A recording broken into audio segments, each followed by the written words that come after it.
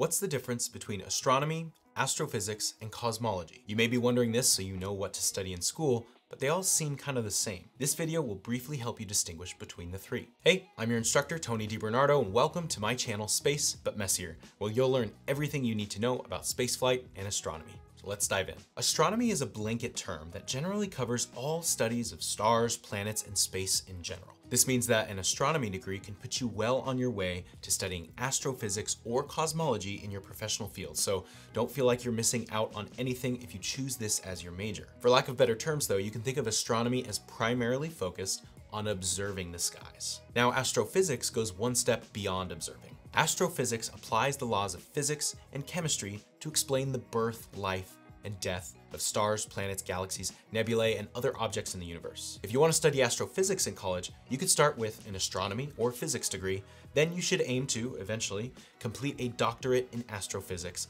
and then take on postdoctoral positions in astrophysics as well. Astrophysicists can work for the government, university labs, and occasionally private organizations. Now, cosmology is similar to astrophysics, but deals with phenomena on a larger scale.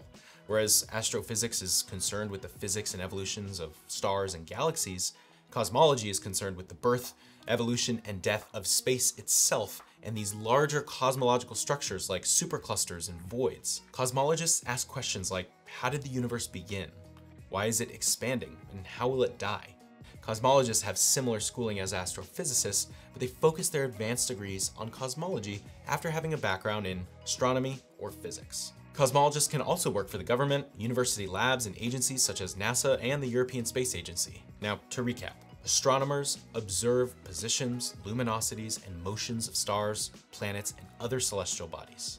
Astrophysicists study the physics of how all these objects behave in space, and cosmology studies how these fit into larger cosmological structures and the birth and fate of our universe as a whole. Now thanks for watching this video, and if you learned something and you liked it, subscribe to this channel to catch my future videos, and if you have a question, throw it in the comments and I'll check it out.